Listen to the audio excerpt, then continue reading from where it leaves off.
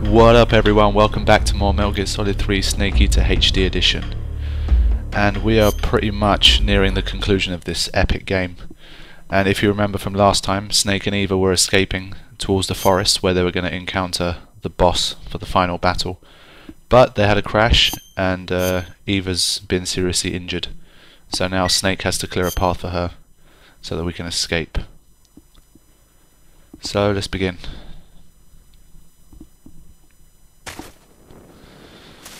Alright, I think I've already got all of these bullets, but I might as well get the rations because Eva's stamina runs out very quickly because she's injured. And you pretty much just have to lead her through the forest and hope that no one sees you. For this first phase you just have to be quick because there's a there's like a patrol coming from behind. So just keep moving and every now and again just gesture to her so that she keeps following you and this first section is pretty short and easy. Let me put on some some woodland camouflage. Let's try moss. Moss is generally the best woodland camouflage, but we'll see. Yeah, 30% is not bad.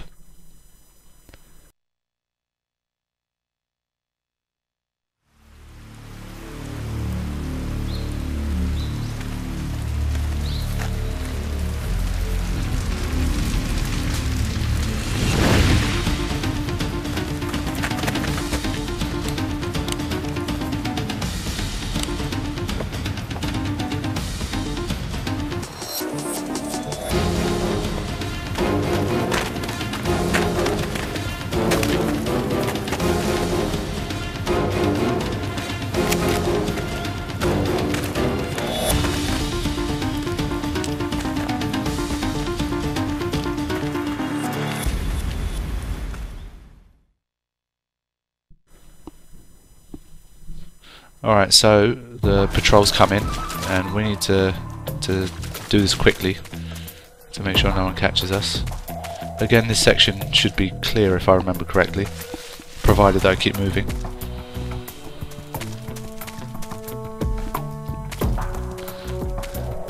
I think once Eva gets to below half stamina she starts to complain and then when she gets below a quarter then she stops moving. But let me see if I can find any other fruit that I haven't got before. So I can at least get a trophy for fruit. Fruit B. Not sure if I've got that one before.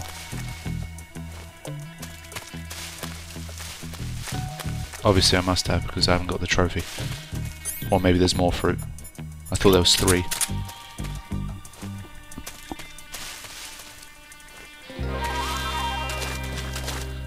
Yeah, this section is just a little bit further ahead, but she's she's very slow. I'm so hungry. Yeah, there we go. So you have to be next to her, and then when you're next to her, you can you can feed her stuff. But I'm not going to feed her that because we don't want to kill her. Um, this tastes like crap. Quit complaining, bitch. We're feeding you. Yuck. Doesn't appreciate anything. Alright, we're almost out of this section. Just this little ledge here. And then we should be on the final phase of this, this woodland part. Snake, the lake is just over that cliff.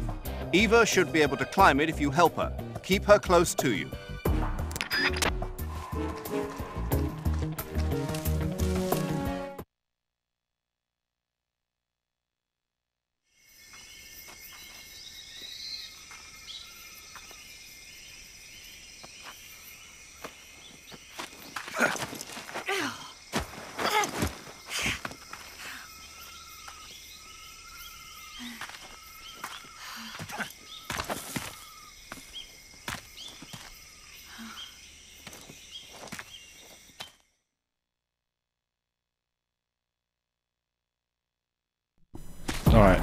Zao's blah blah blah east should be the final bit.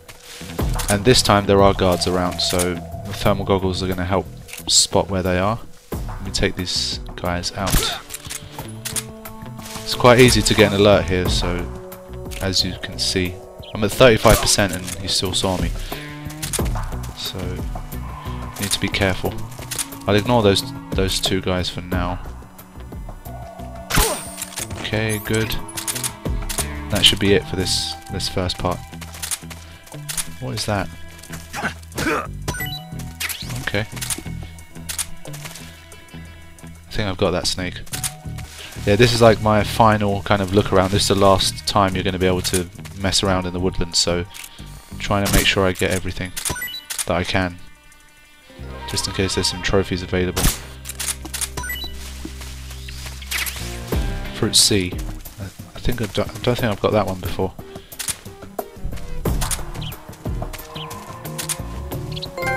There we go. So yeah, that's the trophy for all of the the fruit available in the game. I think there's like three or four. Not too difficult. Some other random stuff.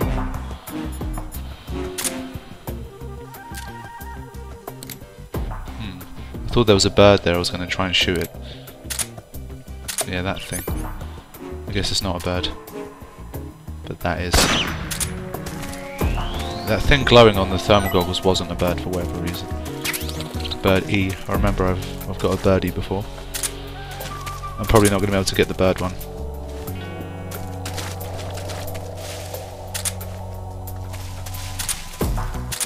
More of these plants. There's a trophy called the, the Markhor Trophy. And I think you literally have to collect everything that's edible in the game in order to get it. But obviously I'm not going to do that for this one. I think there's some birds in, in this little set of bushes here, so I'm gonna I'm just gonna blow them up. Just in case I'm like one bird away from getting the trophy.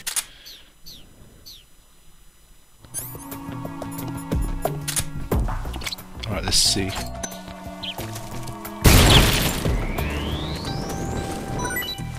Alright, cool.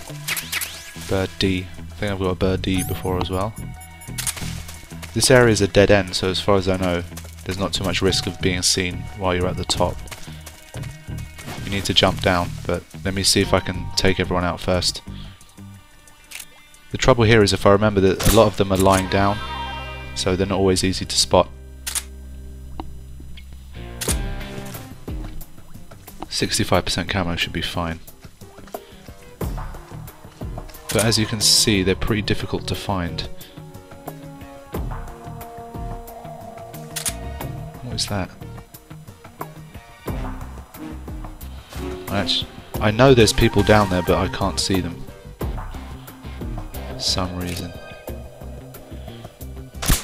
Shit. The enemy, he's here. He's not going to be going anywhere. Shoot him again. Watch out. We've got company. Oh shit! Oh no! I didn't realise they were going to come from behind there. Okay, let's do it.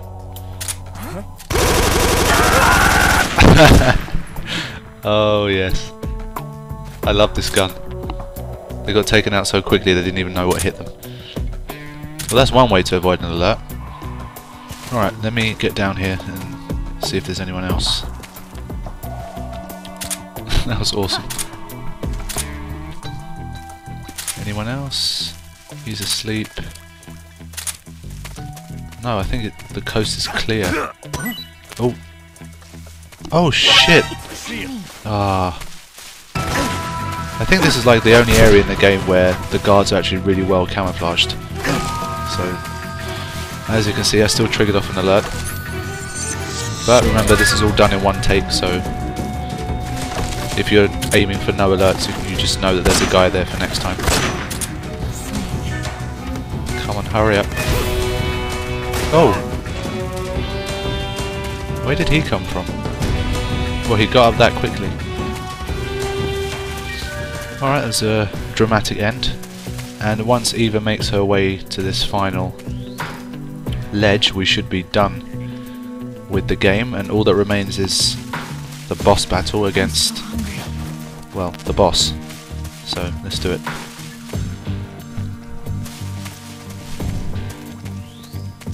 Come on, nearly there.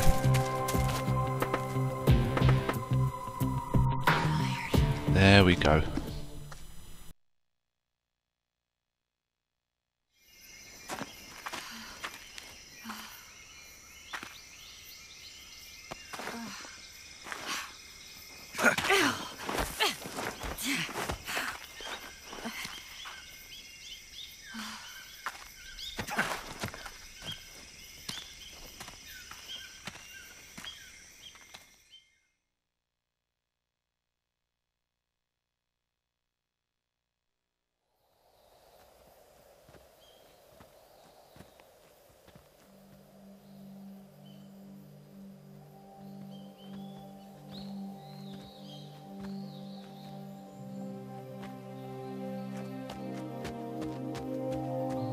Come on, Snake.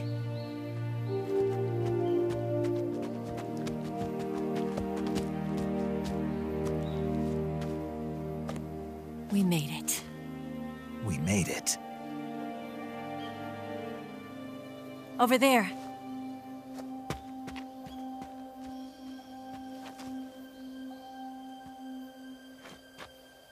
It's the boss, isn't it?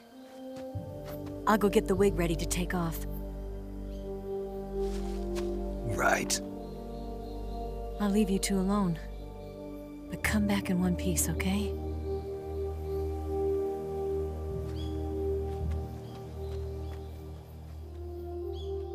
Promise me!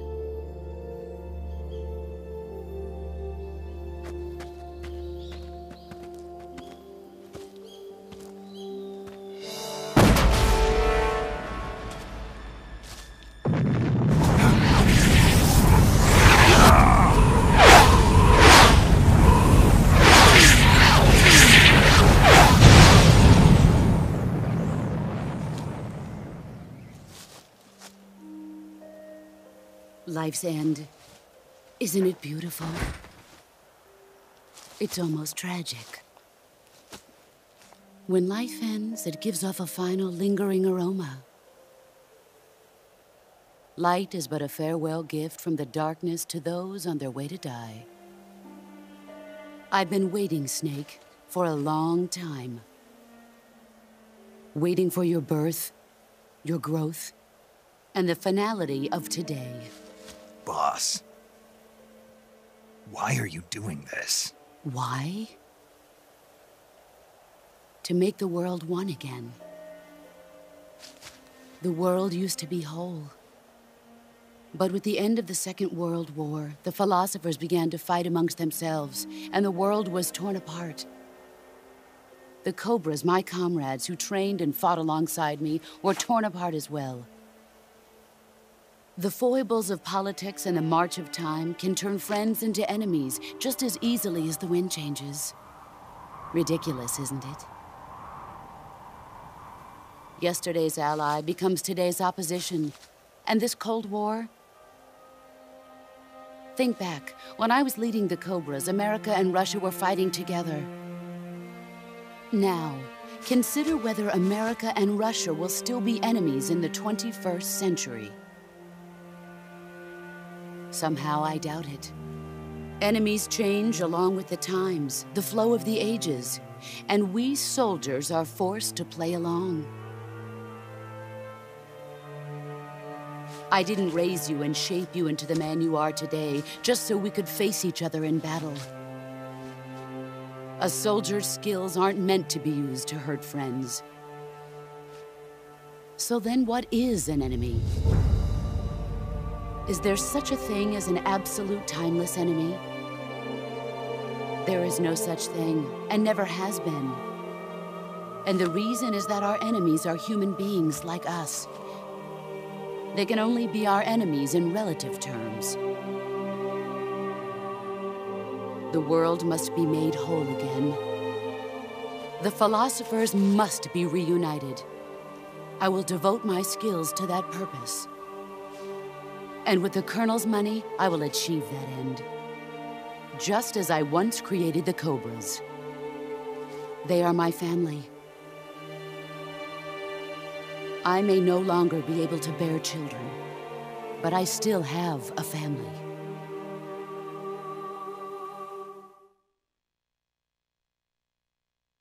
It was November 1st, 1951. I was in the Nevada desert participating in atomic testing. The name Nevada is derived from Spanish, covered in snow, white as snow. And snow is exactly what I saw in that Nevada desert. It froze my blood white. Snake, you were an atomic test subject, weren't you? On Bikini Atoll. That's part of the reason I was drawn to you. You and I are alike. We're both slowly being eaten away by the karma of others. we'll never have the chance to die peacefully of old age. We have no tomorrow. But we can still have hope for the future. In 1960, I saw a vision of the ideal future from space. Three years earlier, the Soviet Union had succeeded in launching Sputnik, the first man made satellite in history, into orbit. This came as a huge shock to the United States. In response, America threw everything it had into its own manned spaceflight project, the Mercury program. Even as the Soviets seemed poised to send their first man into space, America was still experimenting with chimpanzees and rockets. The government wanted human data. So they secretly decided to send a human being into space. I was the one they chose. At the time, they didn't have the technology to block out cosmic rays, and whoever they sent up would inevitably be exposed to heavy radiation. That's why they chose me. After all, I'd already been irradiated once. Of course, you won't find any of this in the history books. I could see the planet as it appeared from space. That's when it finally hit me. Space exploration is nothing but another game in the power struggle between the US and the USSR. Politics, economics, the arms race, they're all just arenas for meaningless competition. I'm sure you can see that, but the Earth itself has no boundaries. No East, no West, no Cold War.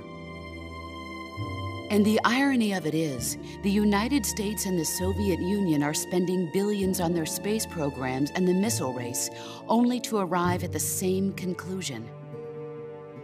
In the 21st century, everyone will be able to see that we are all just inhabitants of a little celestial body called Earth. A world without communism or capitalism, that is the world I wanted to see. But reality continued to betray me. In 1961, I was sent to Cuba, to Bahia de Cochinos. It was part of a CIA sponsored invasion under the guise of taking Cuban exiles back to their country. But the US government betrayed them. Our weak kneed president held back their air support. Defenseless, the exiles were annihilated by the Cuban army. All I could do was watch in silence. I was set up by the very country I'd sacrificed so much for, by the very government I dedicated my life to defending. I was driven from the surface world, and I went underground. Then, two years ago, I faced the sorrow, my old comrade in battle. He was my friend. But one of us had to die. I was left with no choice. The sorrow gave his life for me. There is no enmity between us. One must live, and one must die. That was the mission. The ones who gave me that mission were the philosophers. Early in the 20th century, the true holders of power in the United States, the Republic of China, and the newly formed Soviet Union gathered together in a secret meeting that would later be known as the Wisemen's Committee. The secret pact they formed there marked the beginning of the philosophers. But the last of the original members died in the 1930s. After that, the organization began to run out of control, and the Wisemen's Committee degenerated into a mere shell of its former self. The philosophers of today have no sense of good or evil. Their influence extends to countries and organizations involved in every aspect of every war. They have become war itself. That's how they operate. The sacrifices of war cause a shift in the times. This shift leads to renewed conflict and in turn triggers the next war. Like a nuclear chain reaction, each conflict sparks countless others, forming an endless spiral that will continue on for eternity. Do you understand what I'm saying, Snake? By consuming me and you, the philosophers intend to keep that cycle going forever. It was my father who explained all of this to me. He was one of them. You see, I am the last remaining child of the philosophers. But after he revealed the truth, my father was killed by that same shapeless, formless organization. And my father isn't the only thing the philosophers have taken from me. In June of 1944, the Cobras and I took part in the landing at Normandy. We'd been given a top secret mission to locate and destroy enemy V 2 rocket installations. I was pregnant at the time. The sorrow was the father. I gave birth on the field of battle. A beautiful baby boy. But my child was snatched away from me by the philosophers.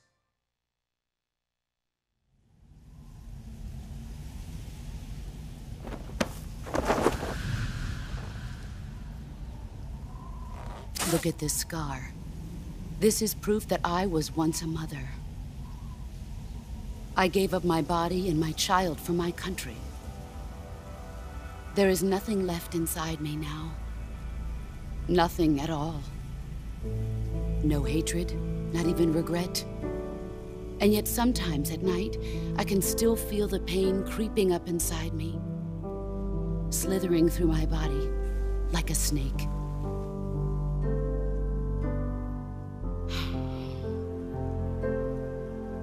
I've never talked this much about myself before. Thanks. Thanks for listening to me.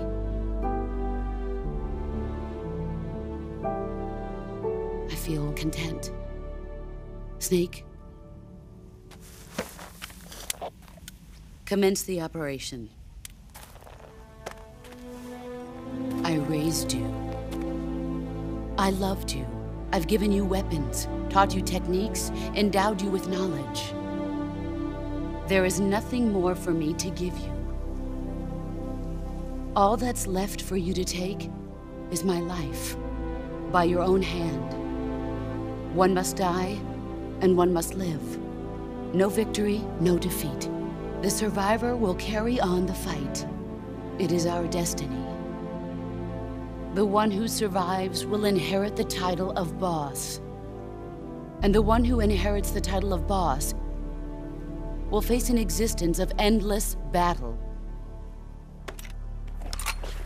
I'll give you 10 minutes. In 10 minutes, MiGs will come and bomb the hell out of this place. If you can beat me in less than 10 minutes, you'll be able to escape in time. Let's make this the greatest 10 minutes of our lives, Jack. Boss. You're a soldier. Finish your mission. Prove your loyalty. Face me.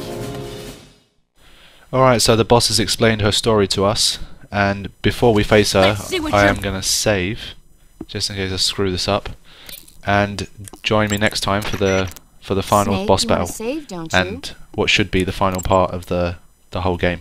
So I'll see you then.